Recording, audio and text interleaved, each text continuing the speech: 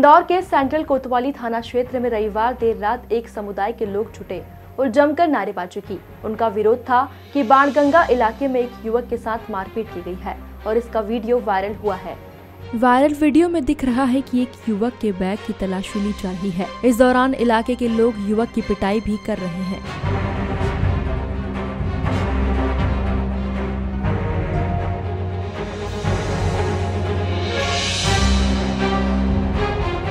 Video के संबंध में बाणगंगा थाना प्रभारी राजेंद्र सोनी का कहना है कि ये मामला बाणगंगा इलाके का नहीं है। वहीं थाने में हंगामा करने वाले लोगों का कहना है कि वायरल वीडियो इंदौर के बाणगंगा इलाके के खालचा क्षेत्र का है। सदर बाज़ार इलाके में रहने वाला युवक चूड़ी बेचने गया था। इस दौरान इलाके के कुछ लोगों ने युवक को एक जगह बैठाया और उसकी पिटाई करने लगे। शहर में अभी सोशल मीडिया के माध्यम से मुझ थाना प्रभारी बाणगंगा को एक वीडियो देखने का मौका मिला है।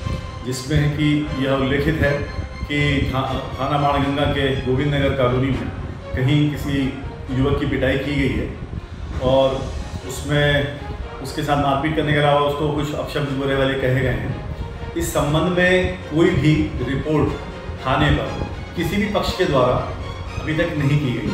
न इस संदर्भ में कोई अदमशेक रिपोर्ट आई है, न कोई अपराध पंजीबद्ध हुआ है और ना ही किसी प्रकार का कोई आवेदन प्राप्त हुआ।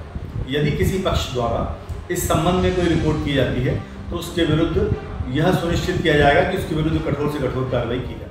मारपीट करने के मामले में पुलिस ने तीन लोगों की पहचान कर ली है। इन तीनों लोगों में से दो आरोपियों को पुलिस ने गिरफ़्तार कर लिया है। वहीं एक आरोपी की तलाश में टीमें रवाना की गई है। चूड़ी बेचने वाले युवक से मारपीट करने वाले आरोपियों पर भी गंभीर धाराएँ लगाई गई है। इसमें कल जो बाणगंगा थाना क्षेत्र में एक घटना हुई जिसमें एक चूड़ी बेचने वाला आया था। उसके साथ कुछ लोगों ने मारपीट करी और इसके बाद वीडियो वायरल हुआ।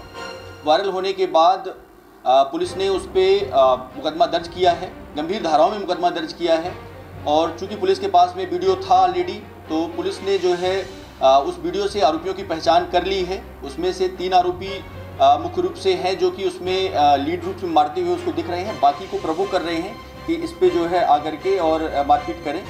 वो तीन आरोपियों, आरोपी इसमें नामजद हैं, राकेश पवार, राजकुमार भटनागर और विवेक व्यास इनमें से दो को पुलिस राउंड अप कर चुकी है। इसमें राजेश पवार और राजकुमार भटनागर को पुलिस ने राउंड अप कर लिया है और विवेक व्यास की भी लोकेशन पुलिस ने ट्रेस कर ली है और जहाँ पे है ये, पुलिस ने वहाँ पे लोकल पुलिस से भी संपर्क स्थापित किया है और हमें उम्मीद है कि बहुत जल्दी उसको भी राउंड अप कर लिया जाएगा। वही मामला बढ़ता देख प्रदेश के गृह मंत्री नरोत्तम मिश्रा ने कहा कि आरोपियों पर कार्रवाई की जाएगी। गृह विभाग की रिपोर्ट यह है कि वो चूड़ी बेचता था। चूड़ी बेचने के लिए वो उस मोहल्ले में, वार्ड में था। हिंदू नाम रखा हुआ था। जबकि वो कुछ था दूसरे समुदाय से। आधार कार्ड भी इसी तरह के दो मिले हैं। और उसके कारण से वहाँ पर बेटियों को बहुओं को वो सावन के दिन चूड़िया पहनाने का ज़्यादा हमारे यहाँ पर परंपरा है। वहाँ से विवाद शुरू हुआ था।